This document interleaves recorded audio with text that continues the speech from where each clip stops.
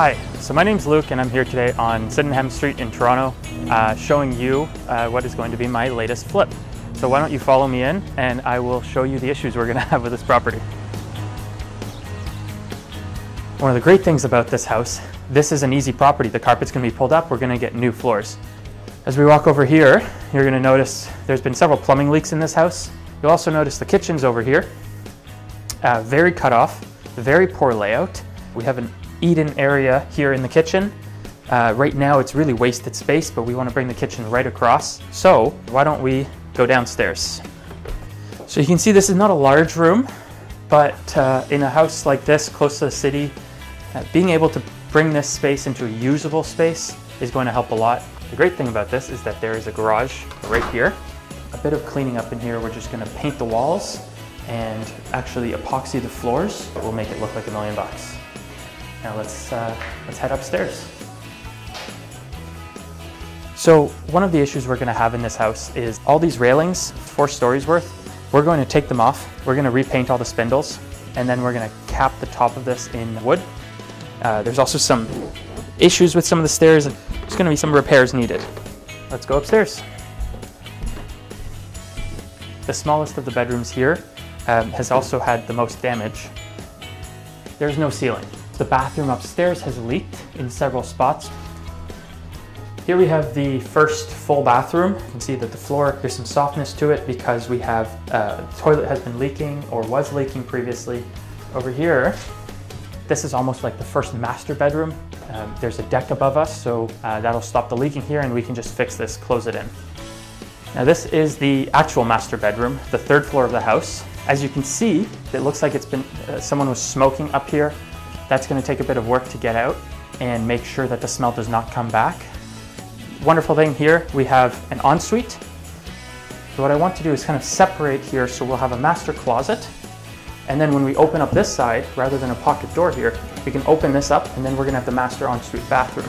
Now, why don't we go outside and take a look at the balcony? It just needs a lot of repairs. We need to pull this all up because we know that the room underneath is leaking. We absolutely need a new roof. We're gonna need new gutters, soffits, siding, everything.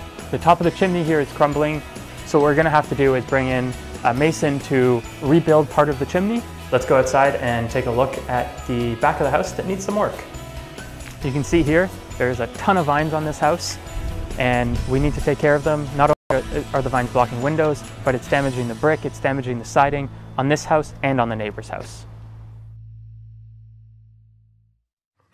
We're back at Sydenham for our final reveal. Renovation's just finished and we are ready to go inside and take a look at the fully renovated house. The transformation here is incredible. We've changed up the space entirely. Uh, you can see starting from the living room, we've made a window seat, uh, exposed the fireplace and dressed it up. Uh, hardwood floors throughout, pot lights throughout the whole main floor. This kitchen, we've doubled it in size. Beautiful quartz countertops, stainless steel appliances, beautiful and custom made for the space with crown molding. Let's go back down and look at the basement. You can see we've completely finished the space. That includes, uh, we've closed in the furnace and hot water tank, uh, drywalled in the ceilings, we have brand new washer dryer. We have a brand new furnace as well. We've replaced the furnace and air conditioner. You can see a brand new KeepRite furnace. Let's take a look at the garage.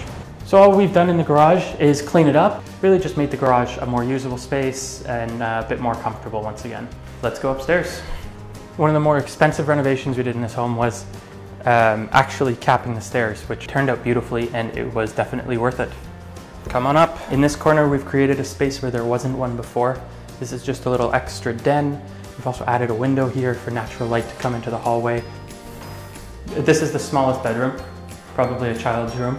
Perfectly ready for anyone to use and uh, everything you need.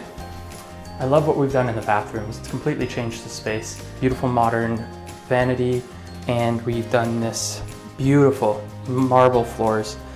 This is another room that would be large enough to be a master, uh, yet this is actually the second bedroom. There's a good sized closet, a lot of floor area, a nice bow window. Let's go upstairs. Welcome to your beautiful master bedroom. You have a large room with hardwood floors, now separated from the hallway where it wasn't before. As you can see, we've extended the beautiful marble floors all through here, marble threshold, uh, we've also gone with the glass doors, which both uh, look modern, but also make the space feel bigger. And over here we have our Walk-in closet.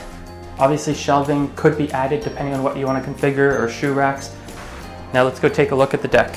So we've really fully revamped this space. Everything, not only the deck boards, but the flat roof underneath has been redone. We've rebuilt the chimney, repainted the siding. We have a new roof on it as well. Let's go take a look at the outside. So you might be able to see over here that we've removed the huge amount of vines that were on the house. So the house is in much better condition than it was.